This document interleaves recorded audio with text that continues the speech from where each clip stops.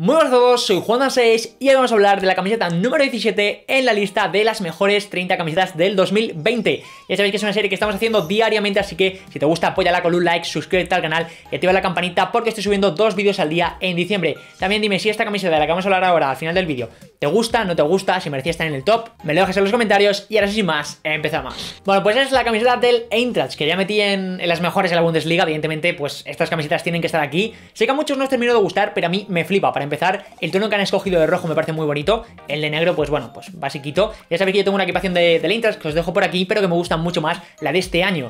Es verdad que el tamaño de los bastones no es simétrico, ¿vale? Creo que hay algunos que son más grandes que otros, cosa que mola también, o sea, a mí me gusta para que no sea siempre lo mismo. Y lo que más mola sobre todo es ese patrón que sale de la parte de abajo, que es el edificio Romer, ¿vale? De la ciudad de Frankfurt, si no me equivoco, y me parece que queda genial. Como digo, esa combinación de colores, ese rojo, ese negro, queda muy muy bien. Lo veremos con las rayas, luego las mangas van en negro, quizá la artetina en rojo hubiese quedado mucho mejor, o, las propias rayas igual, no sé qué pensáis, en la manga hubiese quedado muy bien, eh, aprovechando también el rojo. Y luego la parte del cuello la vemos en negro, vemos así como un cuello en pico, que está bastante bien, que creo que está haciendo Nike últimamente para, para sus equipos, y me gusta bastante, la verdad, esta camiseta. Es verdad que, como digo, podrían haber matizado un poquito más con el rojo en tema de las mangas, pero aún así es una combinación que queda muy bien. La camiseta no se queda aburrida por lo que os comento. Bastones que no son todos del mismo tamaño. Luego el edificio Romer ahí bien puesto, como superpuesto, queda genial. Y lo único que le pongo de pega a esta camiseta quizás sea la publicidad. No me gusta mucho ese tipo de publicidad. El Nike en blanco queda muy bien. El escudo del Intrach es precioso, o sea, me encanta. Es de los escudos que más me gustan de la Bundesliga junto con el del Verde en Bremen, que ya hablamos de ese equipo por aquí.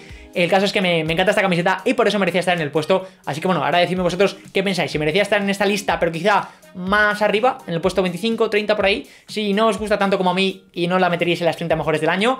Si por el contrario os gusta tanto que la meteríais un poquito más arriba, decidme en los comentarios que me apetece mucho escuchar vuestra opinión. Bueno, y si has llegado hasta aquí, es importante que dejes un like, también que te suscribas aquí a mi izquierda. Aquí te voy a dejar la camiseta número 18 de mi lista de las mejores del año. Es importante también que actives la campanita, como te he dicho, estoy subiendo dos vídeos al día en diciembre, así que es importante que lo hagas para no perderte nada. También que me sigas en mi Instagram, donde hago contenido exclusivo. Muchísimas gracias por estar ahí un día más y mañana nos vemos, como digo, con dos nuevos vídeos. Adiós.